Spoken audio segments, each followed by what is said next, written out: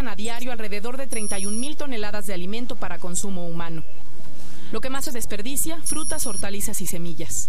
Tan solo en la Ciudad de México, según la Secretaría de Obras y Servicios, se generan 12 mil toneladas de basura al día. 2 mil son basura orgánica.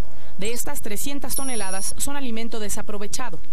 De las 2.000 toneladas de basura orgánica que se generan en la capital del país, una cuarta parte proviene solo de la central de abasto de la Ciudad de México.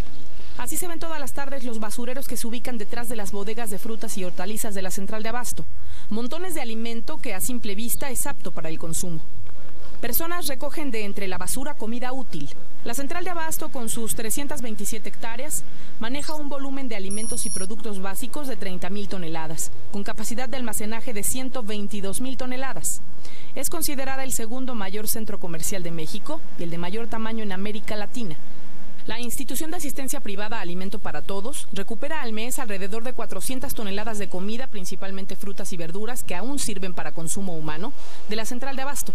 Sin embargo, a pesar de las dimensiones de este mercado, solo les donan a diario lo que ya no venden, cinco o seis locatarios fijos. Obviamente también va variando dependiendo de las temporalidades de las frutas y las verduras, porque lógicamente eh, cuando es, por ejemplo, la temporada de jitomate o cuando es la temporada de zanahoria, la temporada de chayote, pues nos donan más unos que otros. Los porcentajes de los, de los donadores van variando. Operan desde hace 22 años en las inmediaciones de la central de abasto y reciben además donativos de grandes cadenas comerciales. Al mes reciben 900 toneladas de alimento, con lo que apoyan a 160 instituciones como asilos, casas hogar, comunidades, viéndose beneficiadas unas 30.000 personas.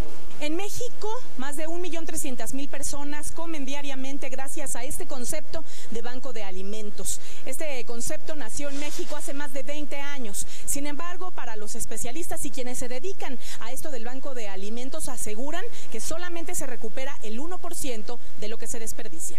El desperdicio de alimento no solo afecta a la parte social. También tiene un impacto a nivel ambiental, ¿no?